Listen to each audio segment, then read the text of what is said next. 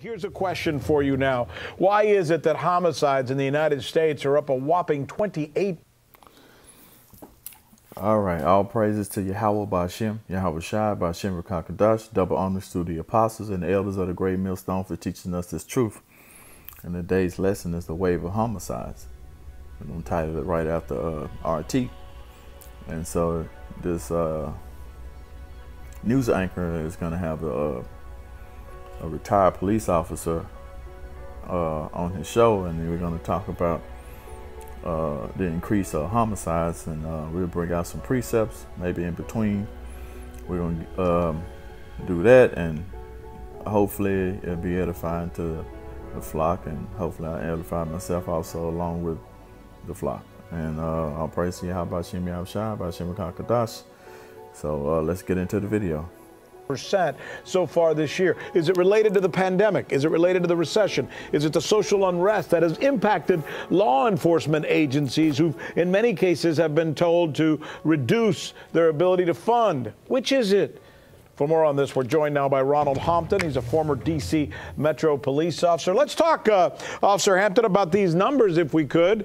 It looks like uh, rapes and robberies are down, but homicides are up all over the country. What what do you think it might be that's causing this?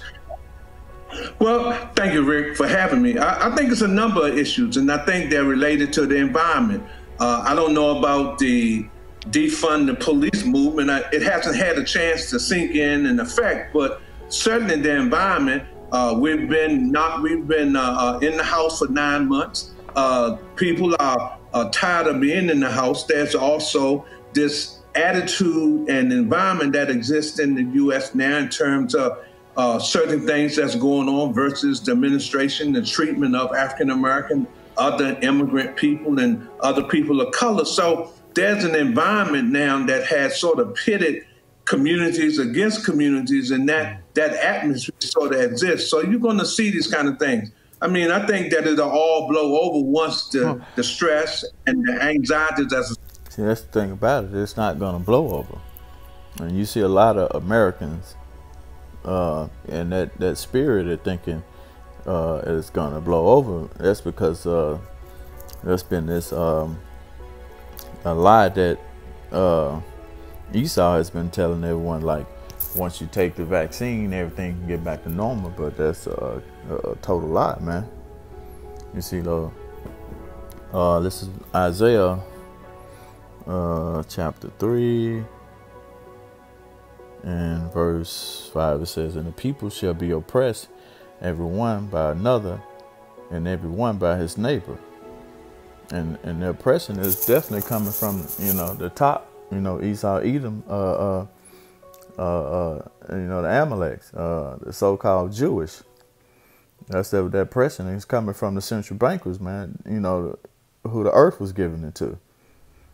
It says, uh, the child shall behave himself proudly against the ancient and the base against the honorable. See, that's the base man, right?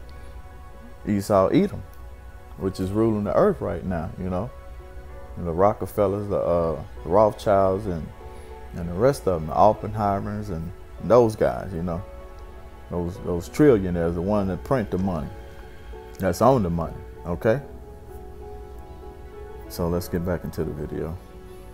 Associated with the pandemic wean off, but the, we've seen these kind of numbers before when these kind of issues exist in our cities and neighborhoods. Let, let, me bring let me let me let me bring something else up. You could argue that police officers are angry, justifiably so, for being treated like you know you don't matter and we're going to defund you. You could argue that uh, many people in inner cities are angry because they feel like they've been mistreated by police officers. But there's something that may be okay. more important. We're going through a condition, an economic condition in this country right now, where 10 million people still. You see economic condition, man.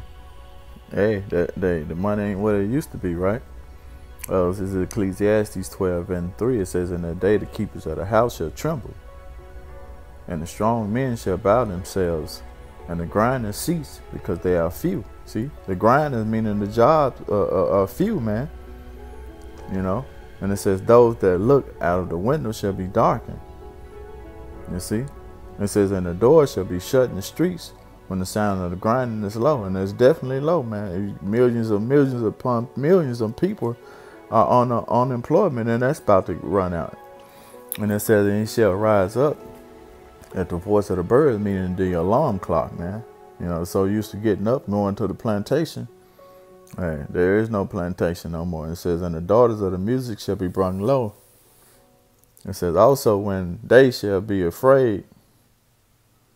Of that which is high, and, sh- and fear shall be in the way, and the almond trees shall flourish, and the grasshopper shall be a burden, and the desire shall fail, because man goeth to to his long home, and the mourners go about in the streets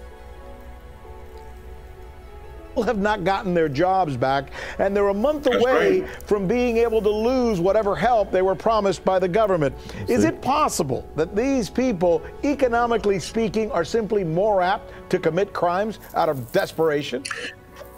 Well, I think if you're hungry, if your house, if, if you're homeless, if you're hungry, you are, are destitute, you're anxiety has risen over the idea you're not knowing where you're going to be next week or the end of next month, then I think that that could put you in the attitude that you need to survive. Survival is a is a, is a, is a very basic attitude uh, uh of people and a very uh, a very basic instinct too. So people, but but you know, I hear I hear and have about police officers uh, individual police officers leaving police departments. Well, yeah, you know, uh, you're gonna see plenty more of this go on, man. Let's uh, let's get uh, uh, Ecclesiastes. You know, this, uh, hey, the book of Ecclesiastes is definitely talking right now, man, to the fullest, man. It's like you can read the whole chapter. Uh, uh well, not Ecclesiastes, but uh, Second Esdras uh, chapter 16, man. Hey, we're gonna go. We're gonna get a little bit of that. It's, uh, 16 and uh, 18. It said. Uh, it says the beginning of sorrow. It said the beginning of sorrow and great mourning, the beginning of famine and great uh, death, the beginning of war, and the powers that stand in fear, the beginning of evils. What shall I do when these evils shall come? And that's uh uh, the, uh, that's the servant of the Lord, Esdras, man, talking. You see, and he's telling about these di these different sorrows and things that are going on in the earth. This is the vision that he's seeing. You see, and all this, this is the beginning of, of, of famine and great death, man, and the beginning of wars, man. It's gonna be chaos here in this earth, man. Hell and chaos, man. So let's get back to the video. Now, why would you leave a job? Because they, they didn't get rid of you, but why would you leave a job to, to have no job in the middle of a pandemic and the, mm. and the unemployment rate going up? That just don't make sense to me. So I think people, I think they're staying there. They may not like what's going on, but the fact of the matter is that it's good for society to evaluate its institutions and agencies every once in a while. And that's what we're going yeah. through now as it relates to safety. Yeah, and especially when you get numbers like this, and maybe we don't know the answer yet, but it's worth finding out what it is that's the variable that may be triggering these kinds of changes as far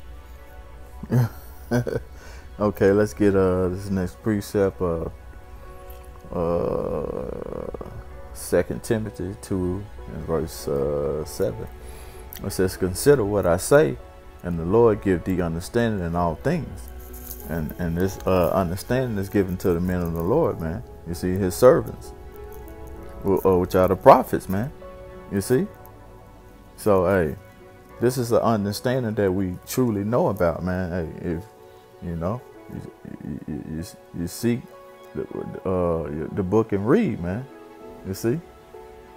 Uh, uh, not uh, saying that it has written, but you get the idea what I'm saying. So uh, let's get ready to watch the rest of this video and maybe we get one more precept out of it and as far as crime statistics go. And it's always great to be able to have you on to take us through this. Thank you so much. We appreciate it, Officer Hampton. We appreciate your time.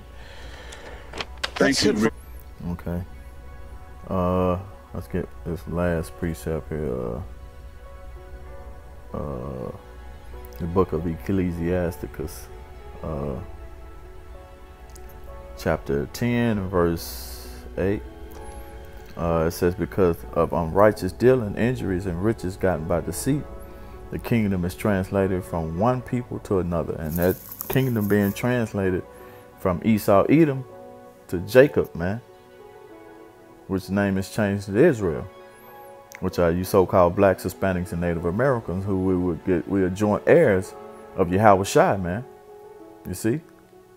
So I want to give all praise and honor to Yahweh Bashem Yahweh Shai, Bahashim Rakakadash, double honors to the apostles and elders of the great millstone, and shalom to the elect.